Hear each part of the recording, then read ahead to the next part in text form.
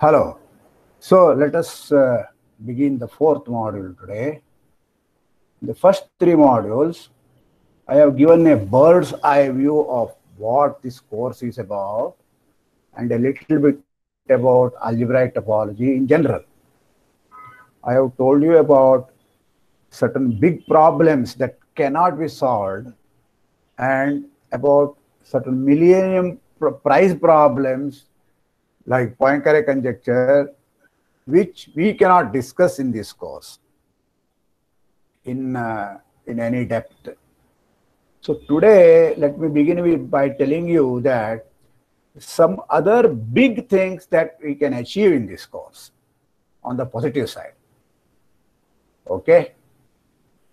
So this is called Brouwer's celebrated theorems. Huh? There are two of them here. One is the Jordan-Brouwer separation theorem, which is the Jordan comes here for n equal to 2. For higher things, it is Brouwer. That is why it's Jordan-Brouwer separation theorem. Take a copy of Sn minus 1 in Rn for n greater than or equal to 2. Then the complement of this Sn minus Sn minus 1, the copy of Sn minus 1, I'm calling X. The complement of this has precisely two connected components. And the, and X happens to be their common boundary. Common boundary. So in the case of n equal to 2, a copy of Sn minus 1, one calls it as Jordan curve, Jordan loop. So Jordan loop separates the plane exactly in two components. One is inside, another is outside. The inside region is called, inside is what? The bounded region. That is the meaning of inside region. There is only one bounded region and there is only one unbounded region. and, uh, and the loop happens to be the common boundary of. this has been completely generalized by Brouwer for all n. this theorem we will be able to prove in this course. Maybe um, it will take some time, but it will be proved. That is the whole idea. The next thing is Brouwer's invariance of domain. Invariance of domain means, you know what is the meaning of domain in calculus and so on? It is an open and connected subset. Open and connected subsets of Rn are called domains. So if see something is a domain in some Rn, that n is invariant. That is the whole thing. That is the whole idea of Brouwer's invariance of domain. Suppose you have U and V, some subspaces of Rn, and they are homeomorphic. If one of them is a domain, that is, one of them is open, then the other one is also open. So that is like saying that invariance of domain. If something is a domain, then homeomorphic copies of that inside the same Rn, they are all domains. As an easy consequence of this, if you change the dimension, then they are not domains can also be eh, can also be observed. Namely, for n not equal to m, Rn will never be homeomorphic to Rn. Okay. So the the sec, this corollary is an easy corollary to theorem 1.3. I will let you think about it. Okay. Finally, we will we will uh, solve this one. This is not this corollary is not difficult from from the theorem 1.3. Standard method of proof of these these two theorems is to obtain them as not too difficult consequences of singular homology theory. Singular homology theory will be taken up in the sequel to this course. On the other hand, in this course, what we shall do, we shall obtain a proof of the Brouwer's invariance of domain as a consequence of simplicial approximation and some combinatorial result called Sperner lemma. There are, of course, purely point set topological proofs of this invariance of domain, which are much too long and difficult. So, so-called dimension theory, books have been written, written on that.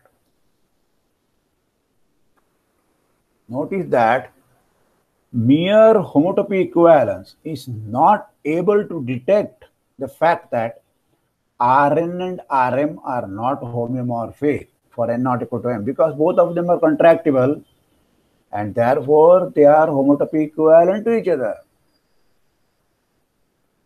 So how homotopy helps? That is a strange thing, no? It does. It should be noted that any known proof of purely point set topological uh, invariance of domain is not too easy at all. All proofs are somewhat quite involved and lengthy. But you can look into Engelking's book and Hurewicz book and so on. The general purpose of this course is to take a few steps which lead the student to the doorstep of such great results in topology. We may not be able to see much of them, but once you have a couple of courses like this, you will be able to access all these results. Algebraic topological tools have been invented and sharpened by masters while attempting to solve topological problems. This requires the reader to master a formidable amount of technical tools even before understanding what the master is trying to do. Master is trying to work out. We have tried to minimize this with shortcuts without missing our missing out on important points which can have a certain permanent value. Okay, so this is what we have tried to do in this course. Okay. So in what follows, we shall keep acquiring new tools and sharpening the old tools so as to solve problems mentioned in question number one and question number two above and many other related problems. All right. So this is the summary of of uh, whatever we want to do. So we will now start doing one by one those things. Okay. So since we have already some technical uh, definitions and so on, here is a set of exercises which you should try to solve them on your own and submit and the tutors will check them and you know later on we can even discuss it in one of the open sessions live sessions. But before that you have to submit and you have to participate. So let me go through these exercises. First one is very all they are simple exercises. To show that a contractible space is always path connected. Second one is i have told you that there are lots of topological properties which are not homotopy invariants, which are not preserved in homotopy. So give a list, list of a dozen topological properties I have done. No, half a dozen. Okay. Show that composite of two homotopy equivalence is a homotopy equivalence. Show that homotopy equivalence among the spaces is an equivalence relation. I have already told you how these things are, but now you have to write down full details of these exercises. Okay, exercises is only for that. There is nothing very hidden in this one. Now comes to a few more exercises. Suppose you have f and g x to y and y to x. Such that F composite G and G composite F are homotopy equivalences. I am not saying that F and G are homotopy inverses of each other. The composite, I am not saying that the composite F composite is homotopic to identity of Y, nor G composite homotopic to identity of, of X, but they are themselves homotopy equivalences then show that F and G are homotopy equivalences. Okay? So I caution you, I don't mean that G is the homotopy inverse of F. It may not be, it may be, doesn't matter. So that is not the question here. Here you have to think a little bit. Okay, keep thinking. When I want to use one of these results in the exercise, given the exercises, by that time, I will give you the solutions. But then otherwise, you keep thinking about it. So whenever you get a solution, you can submit it. The tutors and I will check them. So similarly, next problem here, f from x to y, g from y to z be such that f and g composite f are both homotopy equivalences. Show that g is homotopy It's like cancelling out one. If f is invertible, g composite f is invertible, then g is invertible. okay, so this is algebra of homotopy equivalences. Okay, let us begin with now brass tacks. We want to do whatever we want to do. Let us start doing them. Huh? So this section will contain the definition of the fundamental group and its fundamental functorial properties. We shall also introduce two best methods of computing fundamental groups and use them to compute the fundamental group of spheres, the neat, the neat objects. Once you have Rn, they are the simplest one, they are contractible, they don't have much uh, homotopy properties. But the next objects are the spheres in them, unit spheres in the Euclidean spaces. Extensive study of these methods will be taken up later on. So this is just a, now a trailer again to give you a flavor of what kind of things are coming up now. Okay? So that is what this section is about.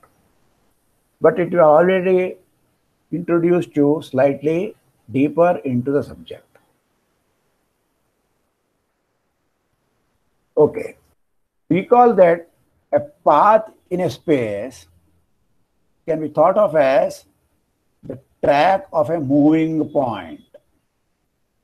The fact that we may move from one point to another point, that means what? Moving means what? In a continuous way within a space, okay, that is described by saying that the space is path connected.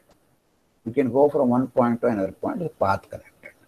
Path connectivity is a very, very old concept and which is very fundamental in all topological aspects. We know that the set of path component of a space is an important topological invariant. We have introduced it as homotopy classes of maps from single point into X. The set of homotopy classes of uh, maps from a single point into X, right? Now, given a path connected space, suppose X is path connected, we are now interested in looking at various different ways in which two given points may be joined. For example, suppose X is a two-dimensional disk. Okay. Let us take unit disk. The, then, given any two points, the natural way to join them is to take the line segment. Right? If we are not so economical, there will be a lot of nearby paths but they would all be, in some sense, the same. Even if you go a little bit away from the uh, uh, the straight line, straight lines are not always possible. You know, paths are not always made straight lines, except perhaps in deserts, right? But we keep the direction the same. So it is more or less the same in some sense. So that is the meaning of meaning of being same. Slightly they are away, but you know, like diversions in a given uh, route when there is some uh, road construction is going on. So they are all homotopic paths. But let us look at the picture S1. In S1, let us say take any two points, then I want to say that there is no there is no direct there is no uh, straight line now, but there are two different arcs from one point to another point. So these arcs, you know, you can't change from one arc to another arc continuously. So how to how to make this one rigorous? That is the task now we have. A path in X is described by a continuous function from a closed interval which we have standardized as 0, 1, the closed interval 0, 1. The closed interval 0, 1 itself is contractible. Therefore, we know that any, any path, namely a function from i to x, must be null homotopic. We have seen that. Once you have contractible space, any function from a contractible space into any other space is null homotopic. So, the homotopy that we have introduced is not very effective in determining the two arcs that are there in S1 which we want to distinguish. Okay. So we need to sharpen the tool here when we want to study the, the path is as such. Okay. That's the meaning of sharpening the tool. We have the homotopy concept, but we want to modify it as per our requirement. So we fix two points, x0 and x1 belonging to any space x We can assume X is path connected. There is no other way. Okay, and look at the space of all paths from x0 to x1 inside x. So that I have written it by omega x, x0, comma, x1. All paths. So this is the collection of all paths. They are starting at x0 and ending at x1.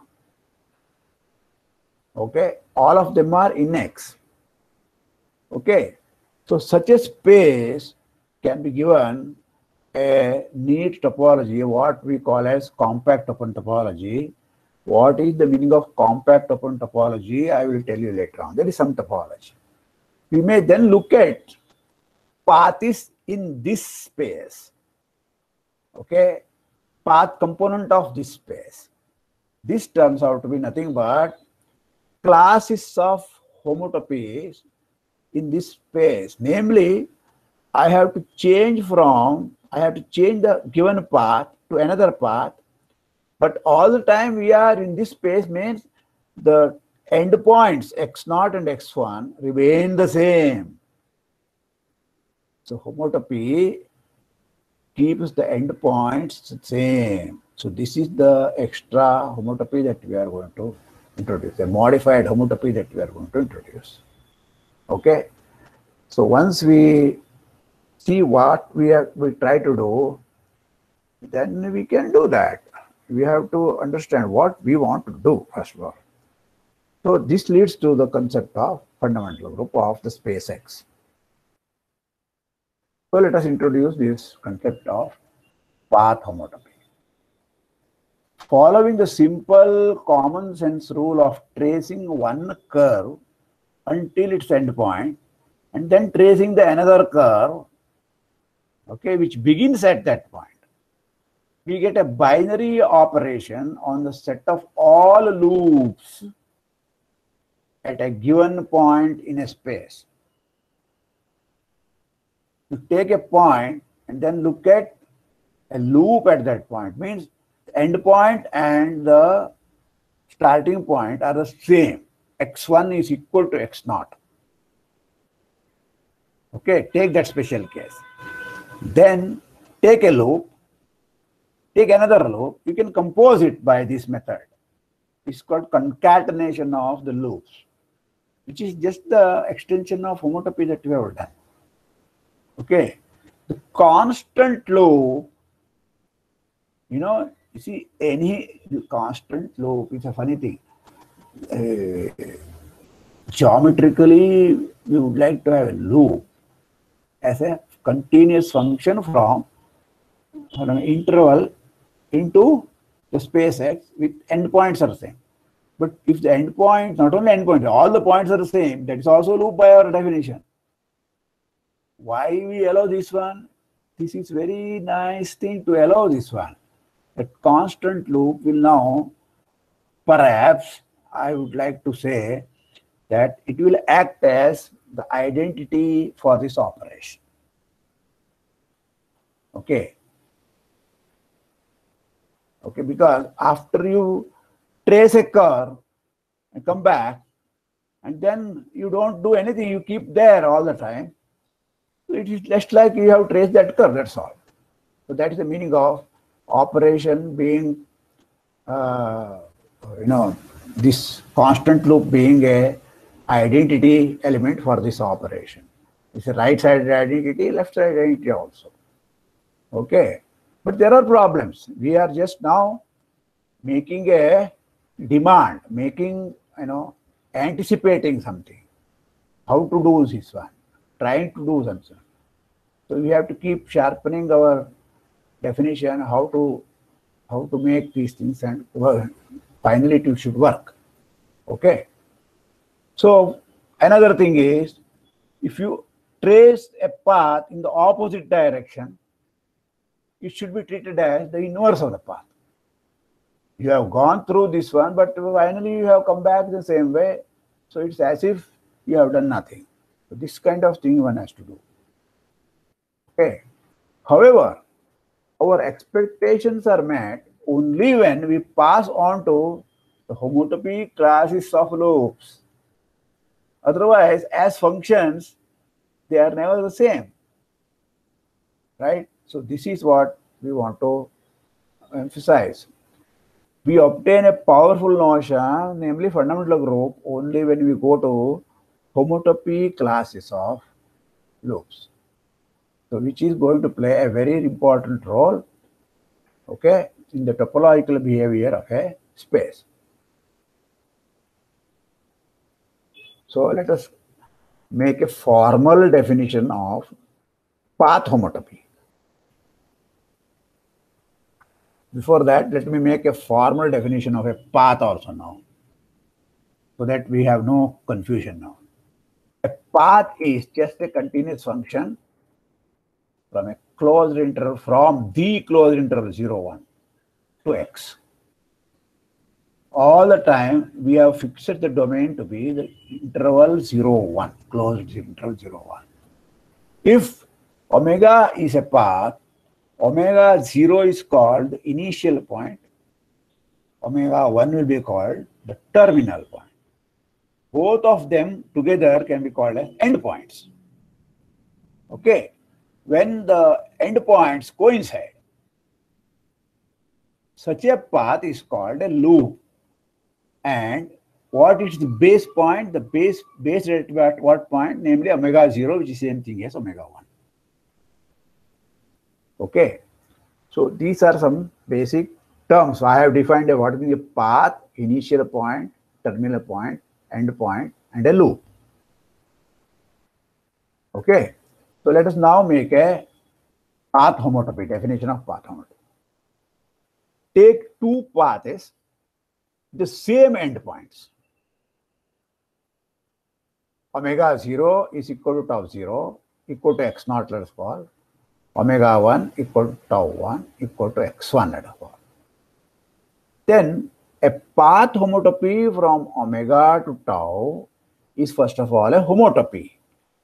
Homotopy of these maps, remember if the map is from x to y, then homotopy was taken x cross i to y, right? Now the maps are from i to x, so homotopy will be from i cross i to x. So h is a continuous function from i cross i to x such that when you take h0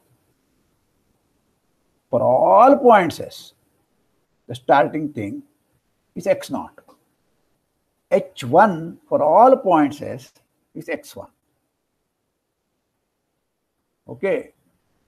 So these two points do not move at all. The second coordinate showing is, is moving. Okay. So they don't move at all. For every point, 0 less than s squared s1. h of t0, it is the first path, that is omega. h of t1, it is the last path, it is omega tau t, sorry. Okay. So if this happens, then we call omega path homotopic to tau. All right. And we use a simple notation omega semi equal to tau. A general notation for homotopy was there was a twiddle and an arrow. Remember that here. This this was a different notation that time. So this this is a different equivalence. This is a different relation. So a different symbol. So here is a picture starting with omega here, ending in tau here. Endpoints are fixed here. So this is some, you know, T equal T1, T2, T3, uh, various stages, dotted lines are fixed. So this is how a homotopy is supposed to look like. Okay. Fixing two points, x1, x0 and x1 on the set of all paths in x with initial point x0 and point x1, easily seen that path homotopy is an equivalence relation. The proof is exactly same as how functions equivalence of homotopy is equivalence is the same as this one. We are everywhere we have now taken endpoints being fixed, same thing. So every time it will fix the same thing. Transitivity, reflexivity, and symmetry, all they are, we can verify the same way, okay? So, path homotopy is a equivalence relation amongst class of paths which have the same endpoint. That is what is important. Okay, notice that path homotopy is more restrictive than the homotopy of maps, which you have defined in the previous section.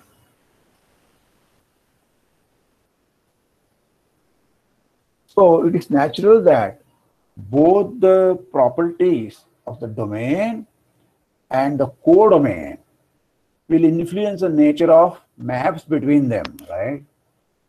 We have witnessed this in theorem 1.1, namely, if the domain is contractible, then the function is null homotopy. Similarly, codomain is contractible, any function into that null homotopy. Right? So, even for paths and path homotopy, there must be such something happening. Okay. Irrespective of where I am taking x. x is the space I, I am taking the path is in that and path homotopy. Let us first understand what are these essential homotopies between path is, of course, endpoint must be the same. Okay. So let us uh, first uh, take away this part. After that, we can talk about what happens inside X. Right now, irrespective of what happens to X, where X is, some path is have this path homotopy must have certain properties. Let us understand that. So this leads us to what's called as reparameterization. Take a path omega from i to x. A reparameterization of omega, we mean a path j omega composite alpha where alpha itself is a, another map from i to i such that 0 goes to 0 and 1 goes to 1 under alpha. Any path and then you change it namely omega instead of omega t you take omega of alpha t. That will be called reparameterization of the path omega one of the simplest thing is the image of omega and image of omega alpha does not change. It is the same thing. Okay. So for layman's point of view, both the paths are the same. But for mathematician's point of view, they may not be the same. But in fact, they are not the same if alpha is not identity map. Okay.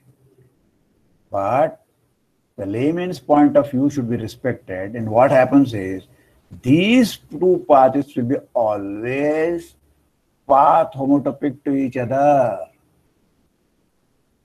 So weaker equivalence is there.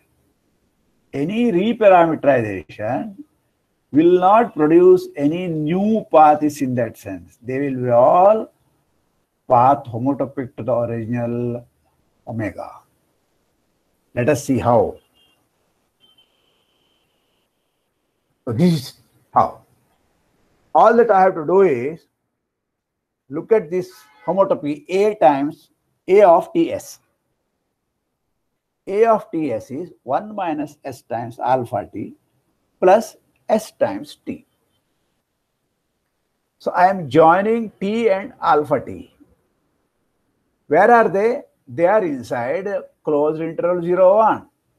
Therefore, line segment makes sense. 1 minus t times this, 1 minus s times this, and uh, plus s times that one, which be again inside the closed interval.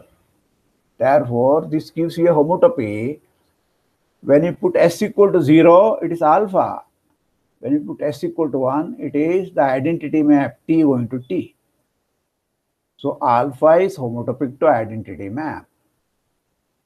Relative to the endpoint 0 and 1, no matter what S is, when you put t equal to 0, what do you get? Alpha 0 is also 0, and t is 0, so A, T, S is 0 for all S. Similarly, t equal to 1, alpha 1 is 1, and t is 1. 1 minus s times 1 plus, plus s is equal to 1. So, this homotopy is a homotopy of the identity map with alpha, keeping the endpoints fixed. Therefore, when you apply omega to it, what you get? You will get homotopy of omega composed alpha with omega composed identity which is omega. No matter what omega is or no matter what alpha is, reparameterizations of all paths is path homotopic to the original one. This is the concept. Now I want to warn you that you might have studied in uh, differential geometry or even in uh, complex analysis and so on, when there is a reparameterization, first of all, those maps are not just maps, they are smooth maps or piecewise smooth maps. Similarly, the reparameterizations must be smooth maps with extra condition, namely the derivative at every point must be positive. So this is the standard condition in differential geometry. Also in integration theory and so on in complex analysis. But in algebraic topology, we don't need those conditions. We are taking all continuous functions and we don't want only endpoints are the same is enough for us. Okay.